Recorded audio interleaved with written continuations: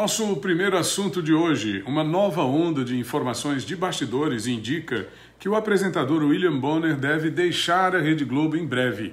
Ele próprio teria manifestado sua pretensão em se aposentar para aproveitar a família e viajar pelo mundo, conhecer lugares que ainda não conheceu. É pelo menos a quarta vez que esse tipo de notícia se espalha pelas redes sociais, alguns meios de comunicação, nos últimos quatro anos. Em 2021 foi colocado que ele seria demitido por conta dos indicadores de audiência, que estavam muito baixos no Jornal Nacional. Em 2023, falou-se que ele estaria se aposentando antecipadamente com isso, deixando a apresentação do programa.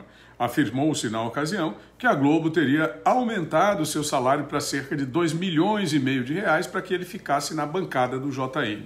Mais recentemente, durante um curto período de férias, os rumores voltaram a circular com intensidade. O apresentador voltou a negar e disse que existe uma rede de disseminação de informações falsas contra sua pessoa.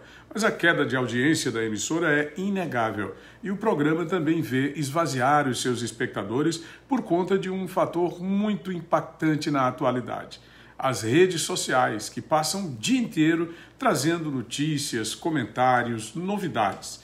Na hora da apresentação do programa, à noite, o espectador fica com a sensação de já estar sabendo de tudo aquilo.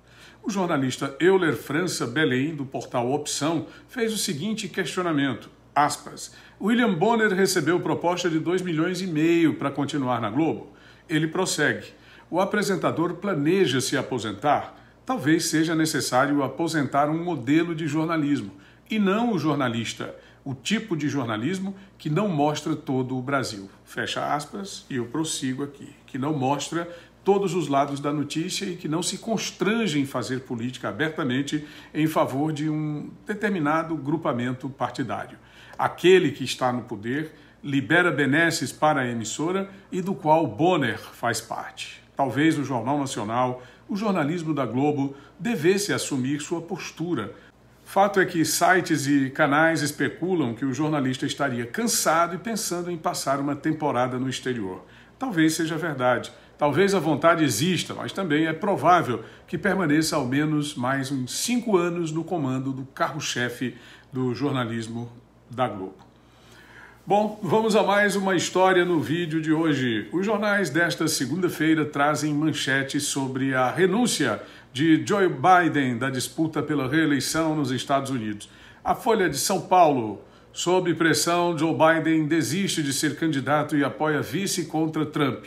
Na primeira decisão do tipo desde 1968, o democrata cedeu a apelos de que não reúne condição cognitiva para disputar a reeleição. A Folha também traz ampla matéria sobre a prefeita mais velha do Brasil, Graça Carrazone, do MDB, da cidade de Itambé, Pernambuco. Aos 85 anos, ela critica a pressão pela saída de Biden e vê a velhice como ativo. Bom, no caso de Biden, não foi apenas a velhice. Jornal Estado de São Paulo, Biden desiste de reeleição e apoia Kamala Harris para a Casa Branca o Globo aponta que, com a desistência de Biden, a disputa americana apresenta uma nova reviravolta. E para finalizar, acerca do assunto, o deputado cearense Carmelo Neto divulgou o vídeo em suas redes sociais defendendo a renúncia de Lula. Ele afirma que o suposto presidente brasileiro apresenta sinais claros de problemas cognitivos e, em suas falas, comete uma série de impropriedades e atropelos que terminam comprometendo o equilíbrio da nação, como nas declarações que impactaram na alta do dólar, sobre corintianos e mulheres e sobre pessoas com deficiência. Urgente: Biden acaba de desistir de disputar a reeleição nos Estados Unidos é o desespero batendo na porta da esquerda americana. Em 24 é Trump e em 26 Bolsonaro presidente. Bem que o Biden brasileiro podia aproveitar a carona dos Estados Unidos e renunciar logo, né? Carmelo Neto entende que seria de bom termo se Lula realmente pedisse para sair, devolvendo o Brasil ao caminho da estabilidade. Tony Rodrigues, além da notícia.